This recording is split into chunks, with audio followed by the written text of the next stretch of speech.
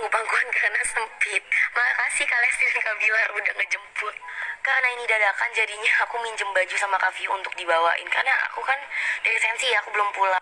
Kita lagi di PS Store dan dari tadi kita main games, terus hoki-hokian, uh, giveaway dan lain-lain semuanya terlihat. Sekarang kita lagi jualan, langsung aja datang ke PS Store Condet yang di depan kantor pos pos. Di depan apa teh? Lift kantor pos bang. Kelihatan nggak?